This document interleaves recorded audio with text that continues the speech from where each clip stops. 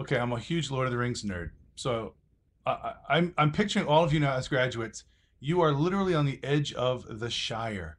You know, it's kind of like Frodo and Sam, and you're you're dragging your fingertips over fresh corn and wheat, and you're moving away from the familiar and the comfortable. And it's a little scary. Once in a while, you feel like you hear elvish song in the forest ahead, and you're drawn to that. But it's a nerve-wracking moment, isn't it? Carolyn Painter, you shared so beautifully that that sense of like you're already missing Kolbe. There's certainly security. I mean, another Lord of the Rings image, right? Actually, from The Hobbit. Bilbo Baggins, quite comfortable where he was in his hobbit hole, right? Nice and clean, a full pantry, everything's predictable and everything's comfortable. But suddenly the dwarves come in and they just start wrecking stuff. Okay, the summer ahead, the years ahead might feel like a bunch of dwarves coming in.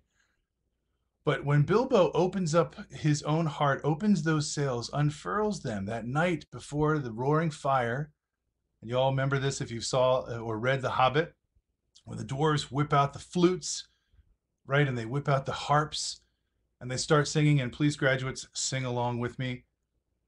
Far over the misty mountains cold, to dungeons deep and caverns old.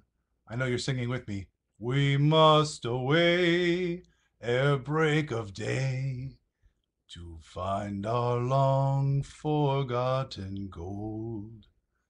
That music was what moved Mr. Baggins, that unsettled him and stirred him to run, forgetting his handkerchief, leaping over the fence, saying, I'm going on an adventure. And this is all of you. The longing is stirring and it's never going to go away. I want you to listen to it. I want you to get unsettled. I want you to let it pull you out of yourself.